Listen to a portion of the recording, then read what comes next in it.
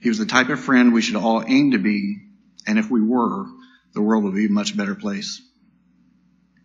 Norman loved this community, and he showed us all how to take care of one another. He taught me and so many others how to care for our fellow man, how to relate and actively engage in the lives of others, and how to serve in a selfless manner. He did not have much of a formal education, but was undoubtedly one of the smartest and most talented people I have ever known when it came to leadership. His ability to inspire people to action seemed to be effortless, as he always spoke easily from the heart. While some emphasize that the fire service is first and foremost a place, a workplace, and should be run as a business, he would find ways to remind us all that the fire service is a family business. His ability to bring together, bring people together and set aside differences and work in concert is one of the biggest reasons we have and will continue to have a combined fire and rescue department that others look to as an example of a true team effort. He and I had a lot of conversations over the past few years about the future of our department and the need to continue bringing people together for the benefit of the community. In the last meeting I had with him, he spoke of the importance of unity and how proud he was to see everyone working together in the stations and of the combined effort that went into developing the specifications for the new tower and rescue engine.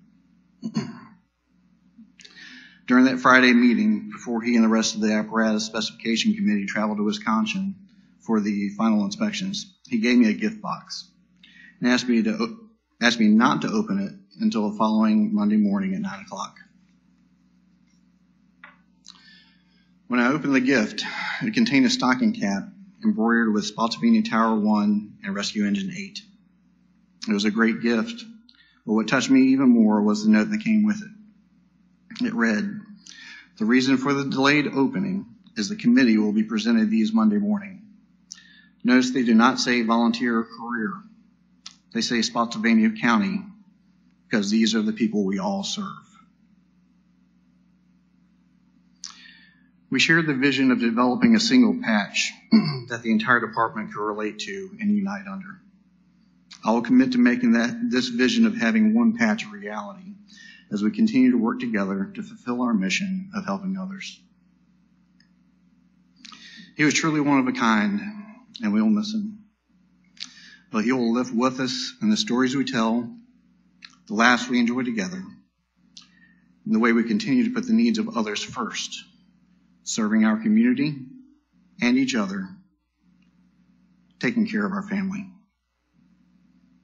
While it causes us great pain and sadness to lose him, those who share Norman's faith in our Savior can have the confidence in knowing that we can look forward to seeing him again someday. So I gladly say, love you, babe. I'll see you later.